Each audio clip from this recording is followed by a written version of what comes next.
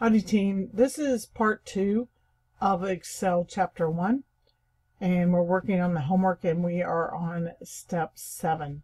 So it asks us to go to B17, I mean B18, sorry. I have column B, row 18 highlighted here for you in yellow. Enter a formula to calculate the amount budgeted for meals. So let's go look at where our meals are. Daily meal allowance is $65. Now think about this. We're going to be at the hotel four nights, but there's still that day of travel, right? So we're probably going to end up adding number of nights plus one. So to do this, we would go equals B3 and remember, B3 is our daily meal allowance of $65 right there, right? I clicked in the cell again. I did it again. All right.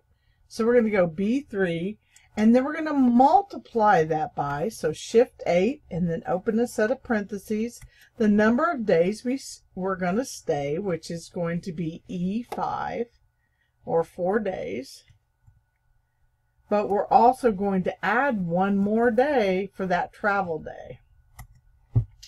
So we're going to have B3 again, which is our daily meal allowance, times E5 plus 1, which is our four nights of stay, and one more day for travel.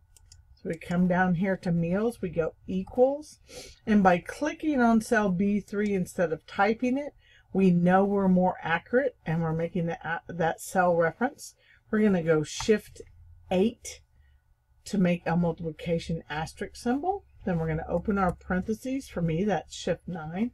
And we're going to click E5, which is our four night stay, but we're going to go ahead and plus one more stay for that travel day.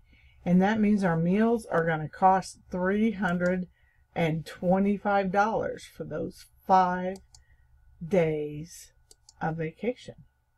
Let's save step seven.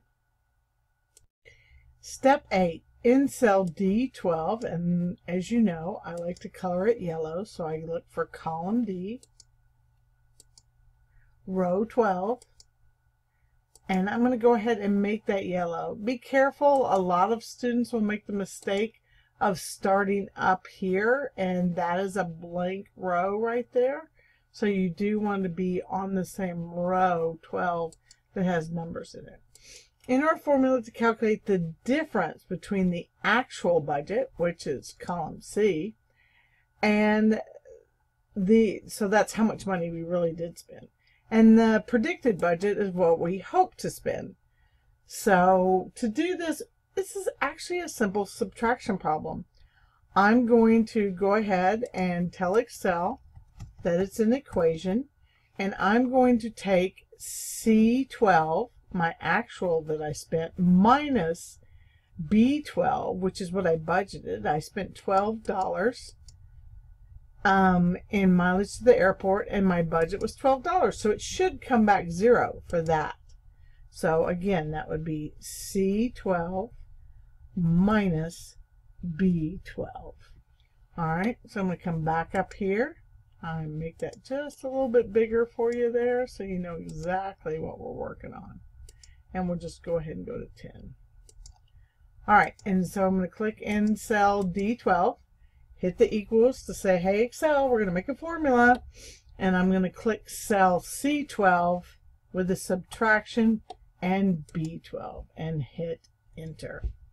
If the actual expense is more than the budget, the result will be positive. If the actual expense is less than the budget, the result will be negative. And what it forgets to tell you is if the actual budget and the predicted budget are the same, then our over under will be zero.